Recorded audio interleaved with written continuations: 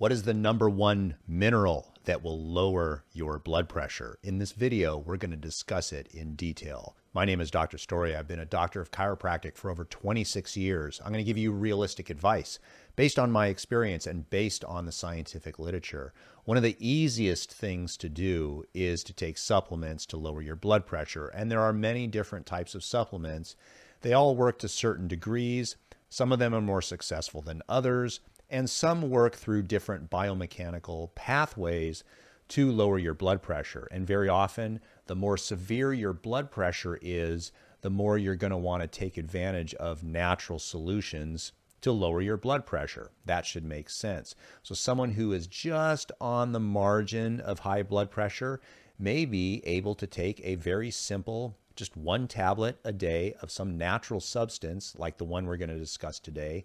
Or some people may need to take three or four tablets per day to be really aggressive with lowering their blood pressure. They may need to also change some things in their lifestyle in order to alter the blood pressure. So, what is that mineral? The mineral is ding, magnesium.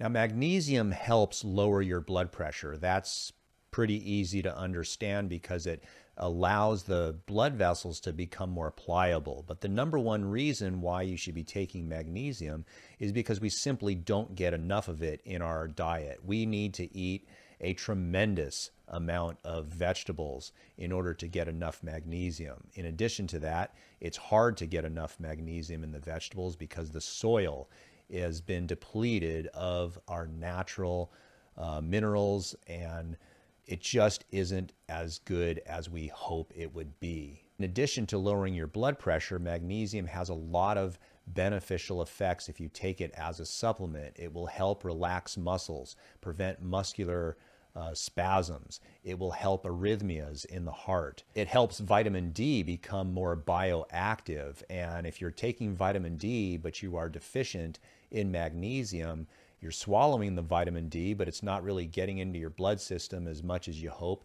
and it is not being absorbed by the cells as much as you would hope.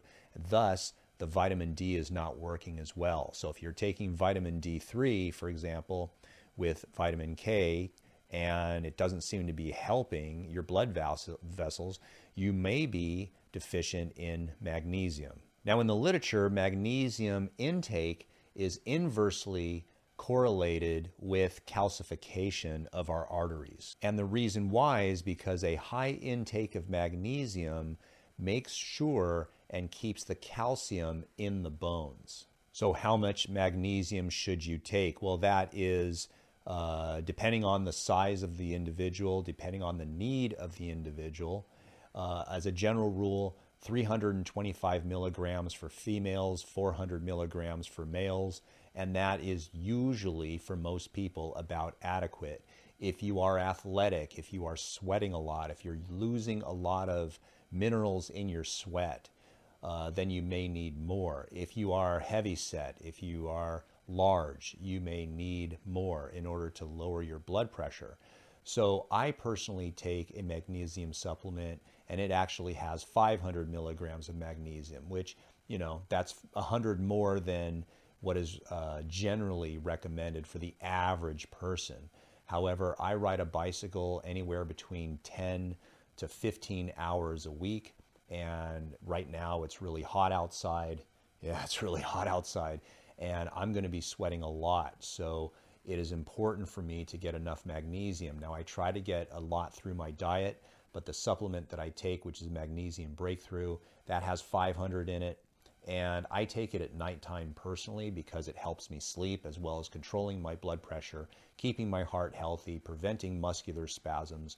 Magnesium does a lot. So, this particular supplement that I take is made by a company named Bioptimizers. And I'll put a link down below in the description.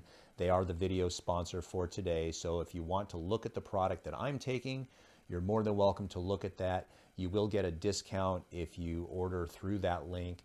However, if you want to compare to other uh, supplement companies, you're more than welcome to do that.